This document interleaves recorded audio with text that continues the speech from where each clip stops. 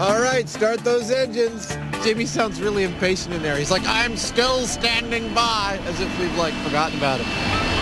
Okay. Here it is.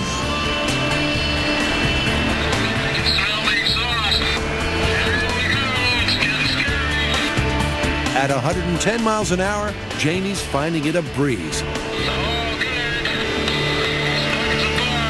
So the wind speeds increased to 130.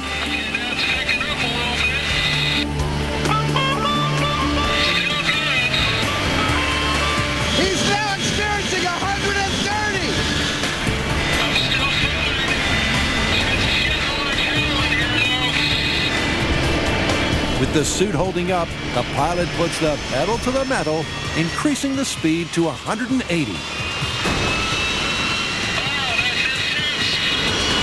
Jamie and the suit are clinging on for dear life, but that seems to be working.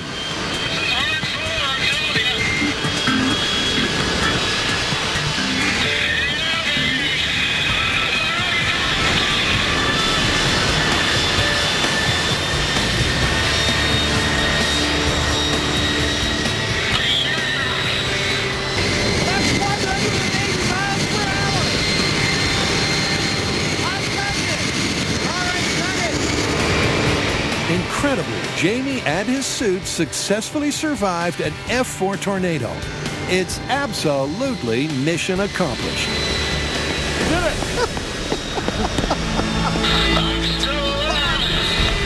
He withstood 180 miles per hour. What was he saying? Is it pretty loud in there? I could barely hear him. He's like, oh, this is intense. Oh, I'm feeling it now. Let's go talk to him.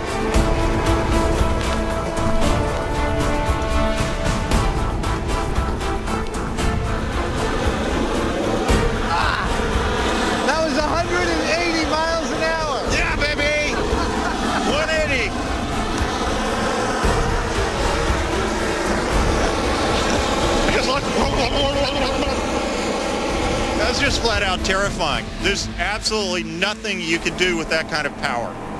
Except hold on and hope that the rig holds, and by golly, it hold.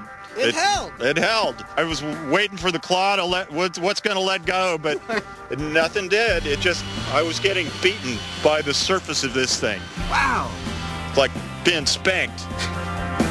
Okay. Nice work.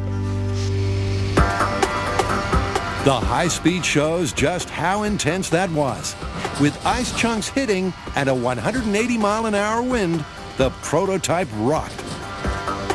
I gotta say, when we first started talking about the Tornado Shield, we went through a lot of design ideas, but I didn't think that any of them would have withstood what I saw here. Nothing prepared me for how devastating that wind was, and our Tornado Shield, with only one modification, held its ground in 180 mile per hour winds with nothing holding it down except some spikes, keeping it from sliding.